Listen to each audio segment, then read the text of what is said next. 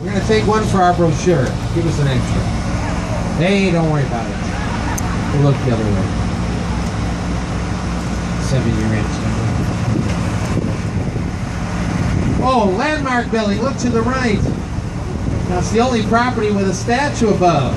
We're looking at the Art Deco Board of Trade. The statue is quite appropriate. It's Ceres. She's the goddess of grain.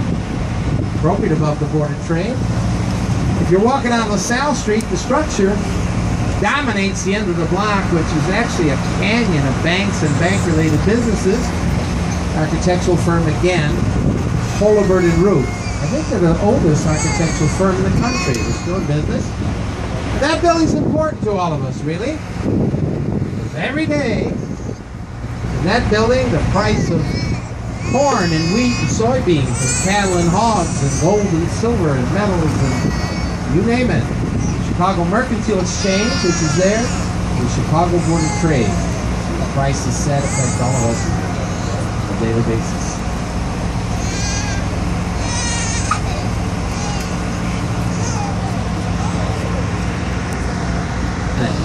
attractive structure, in my opinion, designed by the New York firm Kohn Pedersen Fox.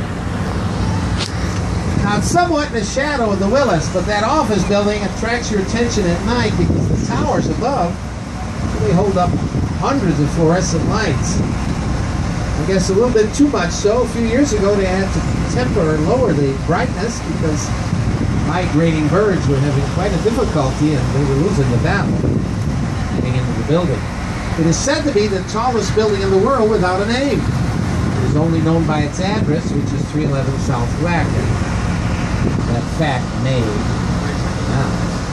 สวย